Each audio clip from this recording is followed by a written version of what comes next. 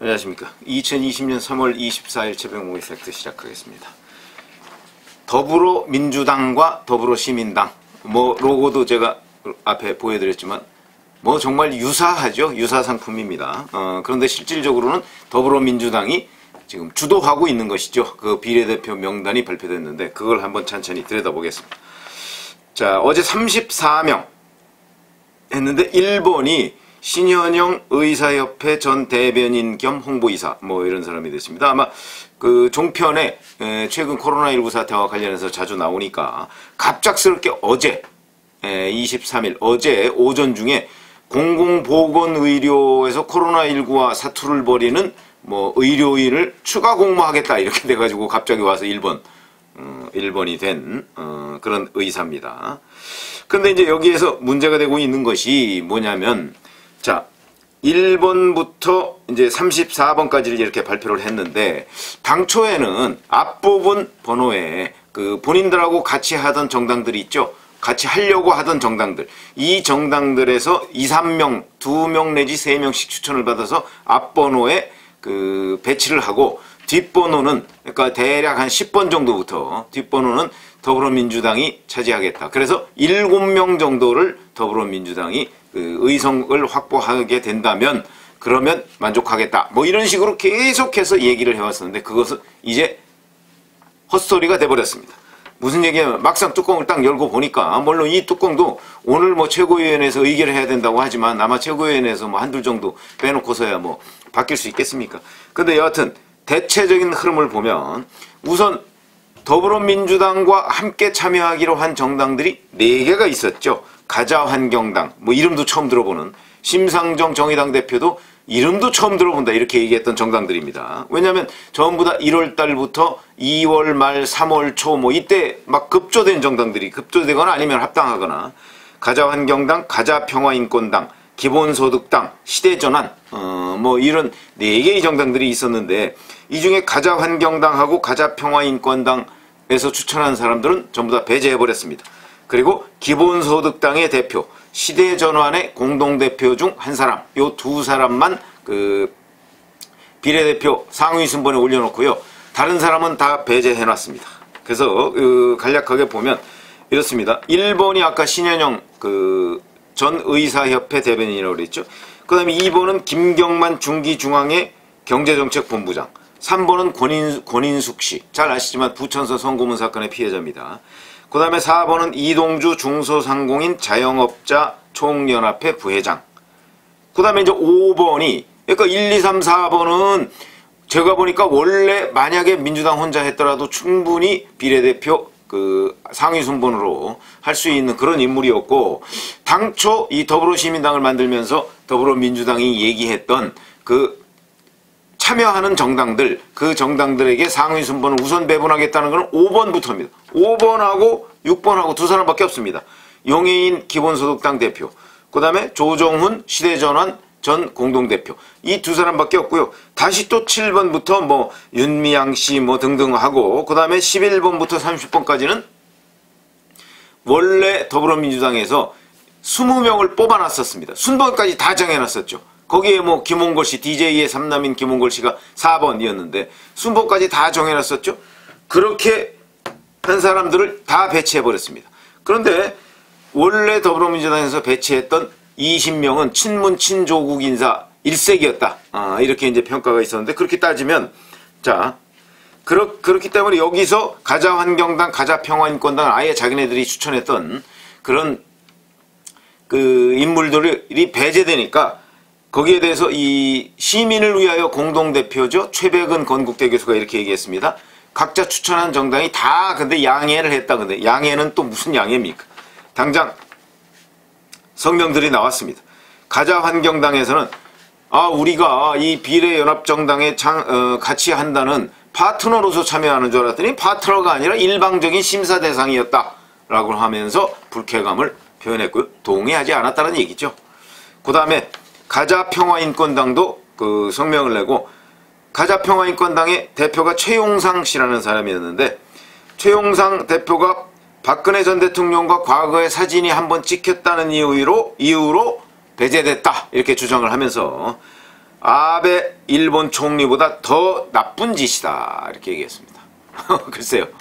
왜 이런 얘기를 했냐면 가자평화인권당은 원래 그 일본 강제징용 노동자 그 유족들 중심으로 해서 그 무슨 인권 정당을 하나 만들었었는데 그 인권 정당이 그 다른 당하고 합당해서 만든 정당입니다. 그러니까 이 가자 평화인권당한테 가장 나쁜 적은 아베 일본 총리인 셈이었는데 그 아베 일본 총리보다 더 나쁜 짓을 지금 더불어민주당이 했다 이렇게 주장을 하고 있는 겁니다. 그러니까 뭐 동의 여부는 뭐 미루어 짐작할 수 있는 대목이죠.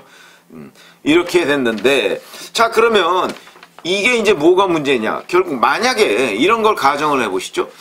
더불어민주당이 그 비례민주당을 만들지 않고 자기들 나름대로의 그 비례대표 명단을 확정을 했다라고 본다면 지금 여기에 있는 그 1, 2, 3, 4번까지 그러니까 용해인 기본소득당 대표 빼놓고 그 앞까지 이 사람들은요 더불어민주당에서 충분히 영입할 수 있고 비례대표 명단 앞순위에 낼 수 있는 사람들입니다.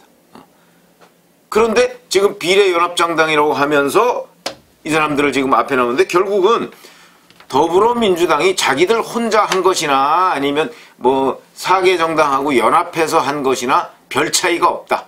고로 결론은 무엇입니까?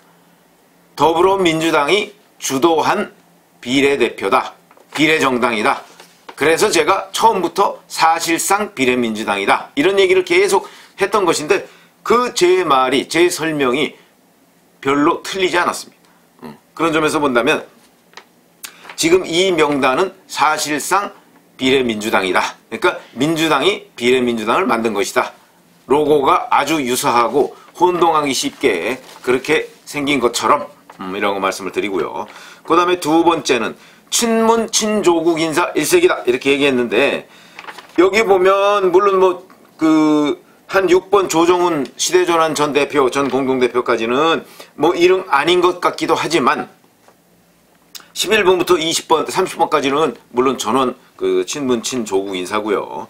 그리고 자기네들이 원래 11번부터 해가지고 후순위에 7명 정도를 확보하면 되겠다고 했는데 그 약속도 또 헌시짝처럼 버렸습니다. 무슨 얘기냐면 11번부터 30번까지를 전부 다 그 더불어민주당이 원래 확정해 놓은 순번대로 비례대표를 선정을 했기 때문에 그러면 이제 예를 들어서 몇 번까지 될지는 모르겠지만 지금 뭐 그 여론조사대로라면 한국갤럽이 실시한 여론조사대로라면 대략 한 20번까지 정도가 당선 가능권이 될 것으로 보이는데 20번까지 가요. 그런데 이게 연동형 준연동형 비례대표제 캡이 30석까지 아닙니까? 30석 이게 원래 총 비례대표가 47석인데 그중에 30석은 준연동형 비례대표로 배분을 하고 17석은 일반 비례대표로 배분을 하기 때문에 그럴 경우에 준연동형 비례대표뿐만 아니고 일반 비례대표로 배분하는 이것도 또 배분 대상에 될 수가 있거든요. 이렇게 따지면 20석이 넘을 수가 있습니다. 그러니까 결국은 무슨 얘기냐? 더불어민주당이 처음부터 해놨던 비례대표 그 순번, 비례대표 번호 이거 이것이 11번부터 해놨다고 할지라도 결국은 최대 뭐 한 15번 정도까지는 할 수 있는 겁니다. 그러면 15개의 의석 정도를 확보할 수 있는 것이다. 그러면 당초에 7개의 의석 정도 얘기하는 거는 전부 다 공수표가 됐다. 어, 이렇게 말씀을 드릴 수가 있는 거고요. 그것도 그러면 11번부터 뭐 예를 들어서 25번까지 당선이 된다고 할 경우에 전부 다 친문 친조국 인사가 대부분인 그런 명단이 되겠다. 어, 이렇게 말씀을 드릴 수 있겠습니다. 그렇기 때문에 이거에 대해서 예를 들어서 미래통합당과 미래한국당이 어떻게 대처하느냐에 따라서 정당 득표의 그 득표율이 달라질 수도 있는 부분이다. 왜 그러냐면 지금 친문 친조국 인사들이 뭐 지역구 공천도 대부분 차지하고 있는 데다가 비례대표 공천도 대부분을 차지하고 있기 때문에 딱 프레임을 작동하기에 좋은 상황인데 어, 미래통합당과 미래한국당이 어떤 프레임으로 선거를 치를 것인지 그런 부분도 궁금해지는 대목이다. 이렇게 말씀을 드릴 수가 있습니다. 또 하나 이 명단을 보고 나서 또는 이 소동을 보고 나서 그 지금 민주당 지도부가 하는 여러 가지 발언과 행태들이 또 한번 구설에 오르고 있습니다. 무슨 얘기냐면 이해찬 대표가 지난 13일 날 얘기한 것인데 21대 국회에서 어, 선거법이 악용될 수 있는 미비점을 보완해 다시는 이런, 이런 일이 일어나지 않도록 하겠다. 이렇게 얘기를 했습니다. 자, 이런 일이라는 것은 결국 지금 더불어시민당이나 아니면 미래 한국당에서 벌어지고 있는 여러 가지의 뭐 꼼수, 덧꼼수, 어, 뭐 이런 상황을 얘기하는 것인데 제가 더불어시민당에서 벌어지고 있는 일과 미래한국당에서 벌어지고 있는 일은 다르다 이렇게 말씀을 드렸습니다. 왜냐하면 미래한국당은 처음부터 선거법을 강행 처리할 경우에 어떤 일이 벌어질 것이다 하는 것을 미리 다 예고해 놨습니다. 그리고 그런 얘기는 미래한국당에서 예고를 안 해도 미래통합당에서 예고를 안 해도 저희도 이미 충분히 얘기를 하고 제가 황태순 TV에서 미래 아, 비례 한국당 나올 것이다 라고 얘기한 유튜브를 한 게 작년 8월입니다. 이미 그 전에 여의도 정치권에서는 다 파다하게 선거법 강행 처리하면 비례 한국당 나온다는 얘기는 다 알고 있었던 내용인데 그것을 민주당에서 몰랐을 리가 없고 어, 그렇기 때문에 그때는 그럼 왜 침묵했느냐 그때는 공수처를 통과시키려는 그 욕심 하나에 정의당을 꼬드겨야 되니까 정의당에 미끼를 던졌는데 정의당이 이 선거법 미끼를 덥석 물었다가 지금 어 된 거죠. 어 된 겁니다. 그런데 지금은 완전히 무슨 이 소동의 진원지가 미래 한국당인 것처럼 얘기를 합니다. 제가 누차 말씀드렸지만 이 소동의 진원지는요. 바로 선거법 강행 처리에 있습니다. 선거법 강행 처리 제가 정당 사상 최초다 이런 얘기를 했는데 찾아보시면 1988년 3월 6일에 한 번 선거법 강행 처리를 한 적이 있습니다. 그 강행 처리는요.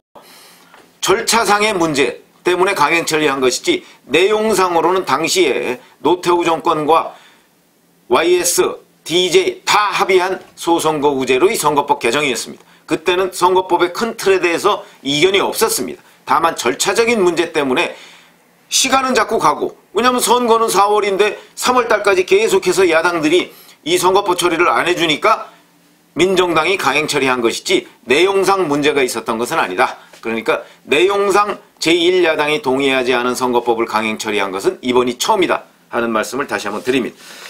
그런데 이렇게 이해찬 대, 표가 마치 이거의 원인이 원인이 지금 미래한국당, 미래통합당에 있는 양 국민들 앞에 호도하는 것 이런 내용에 속지 않으셔야 되겠습니다. 사태를 올바로 봐야 된다. 제가 누구를 비난하고자 하는 얘기가 아니고 사태를 바로 봐야 된다 하는 말씀을 드립니다.